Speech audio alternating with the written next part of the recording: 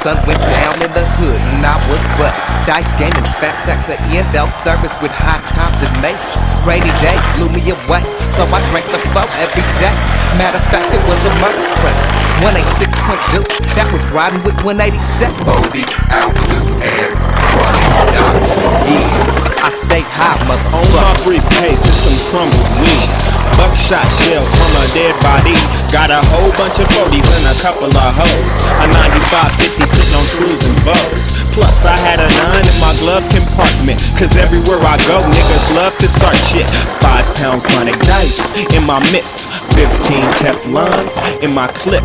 Heard about a lot of sick shit in the block, so I stay low to the brain and remain incognito with my 20 sack of the bomb. Money back guarantee if you hit that shit and don't wanna kill your mom. Got the clip, Glock, Chevy Impala, the duck, stop the Glock. No, you can't stop the doc from the gangbang, nigga. So up goes your trigger, staying high off the sesame. And my nigga. Finally, the sun went down in the hood and I was but dice gaming, fat sacks of Endo service with high times in May. Rainy days blew me away, so I drank the flow every day.